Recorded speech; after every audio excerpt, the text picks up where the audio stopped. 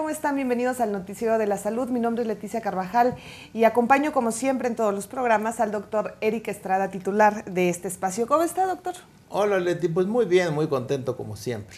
Así es, muy contentos de estar aquí en Green TV, la televisión viva. Y les recuerdo antes de comenzar ya con noticias muy interesantes el día de hoy, doctor. Y ahora buenas noticias. Y ahora muy buenas noticias, así es. Pero antes de eso les recuerdo nuestro correo electrónico que es el noticiero de la salud hotmail.com y la página del doctor Eric Estrada es www.ericestrada.com.mx. Y bueno, el día de hoy son buenas noticias, sobre todo eh, para milpalta, doctor. Para milpalta, para los enfermos de cáncer, para los enfermos de diabetes. Los nopalitos, doctor. Así es. Tan ricos que son. Tan ricos que son, ahora hay que comer más nopales. Hay que comer más nopalitos. Vamos a escuchar esta cápsula, le va a interesar mucho. La Universidad Nacional Autónoma de México dio a conocer recientemente los avances de la investigación de los nopales tiernos de milpa alta en el Distrito Federal como anticancerígenos en cultivos de células tumorales de próstata, pulmón, colon y mama. El efecto anticáncer se encontró en el aceite esencial de los nopales tiernos cultivados en la delegación Milpa Alta, en el Distrito Federal. Para obtener un miligramo de aceite esencial se requirieron 44 kilos de nopalitos tiernos. El equipo de investigadores está constituido por María Teresa Rodríguez, Javier Morales y Antonio Nieto. El aceite esencial del nopal no tuvo efecto en el cáncer de la sangre, la leucemia, las investigaciones de los aceites esenciales llevan 15 años. Recientemente demostraron el efecto protector en las neuronas en el cerebro de las ratas, observando un efecto antioxidante, lo cual resulta de máxima importancia, pues mantiene la comunicación entre las neuronas, lo cual, en un futuro, se podrá aplicar para prevenir el Alzheimer y otras enfermedades neurodegenerativas propias de la tercera edad en adelante pues ya tiene usted ahí la información, hay que comer muchísimos nopalitos tiernos, doctor, pero a ver, esto se, este estudio se hizo en, obviamente, los nopalitos en milpalta, doctor, pero con que sean tiernos es más que suficiente. Así es, cualquier nopal es bueno. Y hay, hay, varias, hay varias acotaciones que hay que hacerle. Eh, primero, eh, entre más tierno el nopal, mejor, para fines anticáncer. O sea, la noticia es muy buena porque pues ya oímos a los investigadores, colegas de la UNAM, que llevan 15 años haciendo investigaciones. Pero a mí nunca se me hubiera ocurrido estudiar los aromas de las verduras. Y resulta que uno de los aromas, los aceites esenciales del nopal, tienen efecto anticáncer. ¡Qué maravillosa noticia! Y por lo pronto ya se estudió en cultivos de células de cáncer de próstata, cáncer de colon, cáncer de mama y cáncer de pulmón. Eso es increíble. En los cultivos de células de cáncer de la sangre, de leucemia, ahí no dio resultado. Pero los otros cuatro sí. Bueno, aquí la primera consideración que hay que hacer, muy importante, es que se trata de un aceite esencial. Y los aceites esenciales se usan en mínimas dosis. Por ejemplo, el aceite esencial de canela se usa una gota. Bueno, pues eh, nos dicen los investigadores de la UNAM que para juntar un miligramo de aceite esencial se requirieron 44 kilos de nopalitos tiernos. Y entre más chiquito esté el nopalito, es mejor. Bueno, aquí hay varias cosas. Eh, primero, la mitad del territorio nacional crecen los nopales. Los nopales que se investigaron, pues son los que viven cerca de la UNAM. Pues ahí tienen de vecino a Milpa Alta, que es un centro de producción de nopalitos que se comercializan casi todo el año. Así es. Y bueno, pues eh, eh, en México tenemos nopales en medio país. Eso es muy importante. Pero viene una precaución. Cuando, cuando hacemos una ensalada de nopales, hay que considerar que los nopales tienen muchos mucílagos, muchas pectinas, muchas fibras solubles, que es la baba, la baba de nopal. Y si se cocinan en, en trastes de cobre, elimina, se elimina la baba. Pero si se comen nopalitos con baba, entonces eh, hay que descansar dos días a la semana. Porque la baba acumulada puede impedir la absorción de algunos minerales.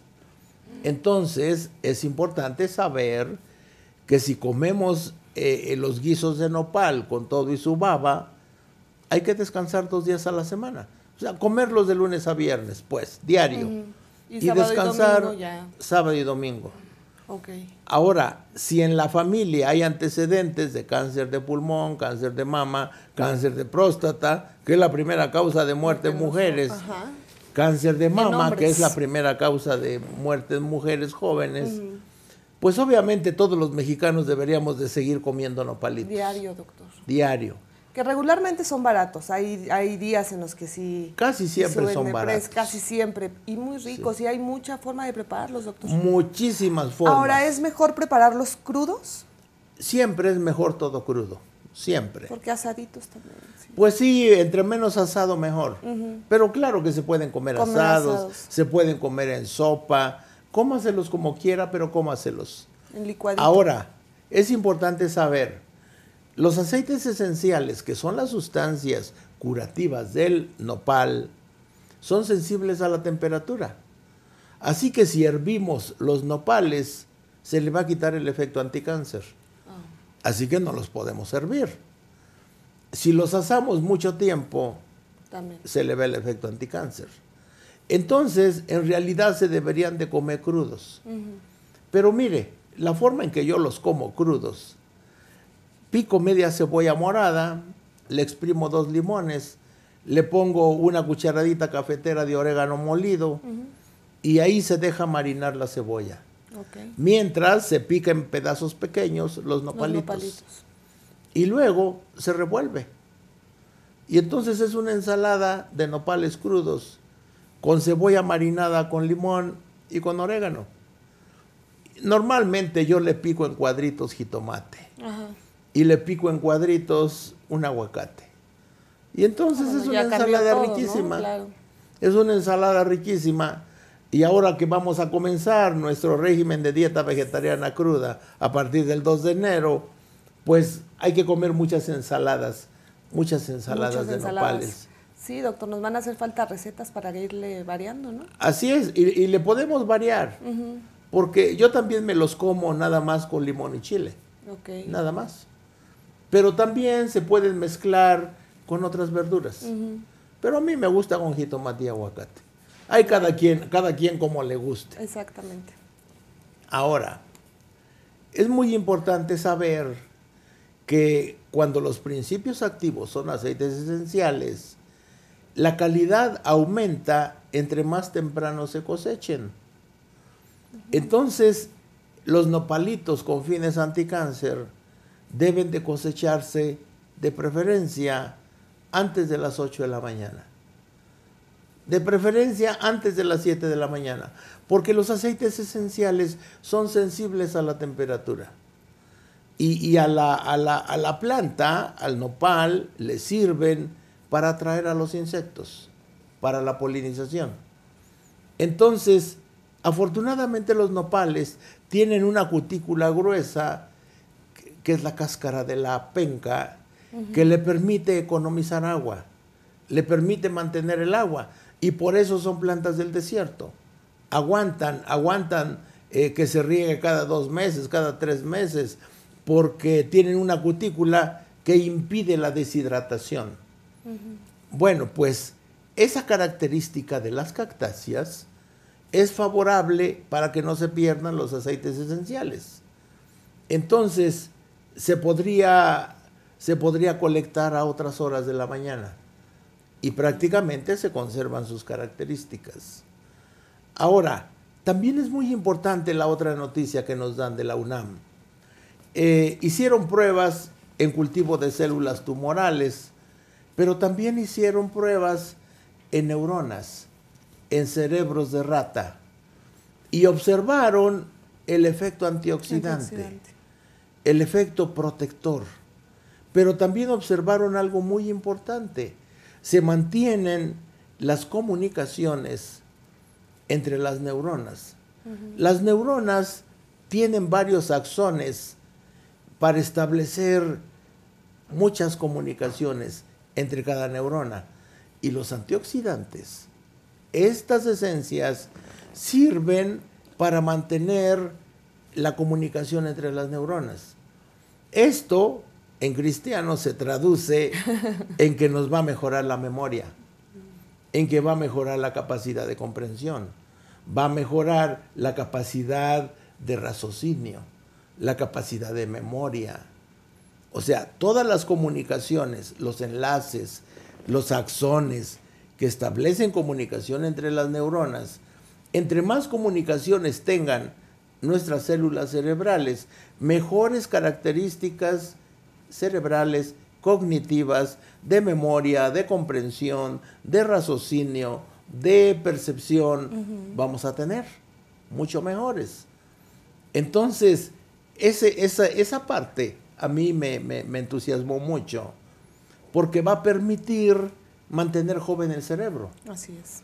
Con los antioxidantes. Hemos hablado aquí mucho de antioxidantes porque el Instituto del Cáncer de Estados Unidos recomienda 3.000 unidades anticáncer y hablamos de que la ciruela pasa es la fruta que más antioxidantes tiene. Bueno, pero el nopal, que obviamente no lo estudió Cancerología de Estados Unidos, no se sabe qué cantidades de antioxidantes tiene, pero tiene los antioxidantes más valiosos porque mantienen joven el cerebro y lo mantienen con sus funciones con las funciones cognitivas, es decir, la capacidad de aprendizaje, la capacidad de memoria, la capacidad de comprensión, la capacidad de percepción, la capacidad de, comprender qué es lo que dice la hoja que estamos leyendo. Claro. O sea, muy importante, muy importante, y es una verdura milenaria que hay platillos y platillos en la comida mexicana forma parte de la comida prehispánica, forma parte de la comida actual. Y bueno, qué maravilla que la UNAM haya hecho, está haciendo. Claro, es parte de los mexicanos el nopal, doctor. Así es. Ya no hay, yo creo que no hay una casa donde no se prepare. nuestro escudo nacional, nuestros símbolos patrios, uno de ellos es el nopal. Pues a mí me encantó esta noticia porque aparte de todos los beneficios, bueno, pues es delicioso. A mí me encanta el nopal. A mí también me gusta mucho. Bueno, vamos a hacer una pausa, doctor. Regresamos vamos a hacer una pausa. Siguen las buenas, bueno, no tan buenas. No tan buenas, pero sí todavía. pero sí hay noticias. Regresamos.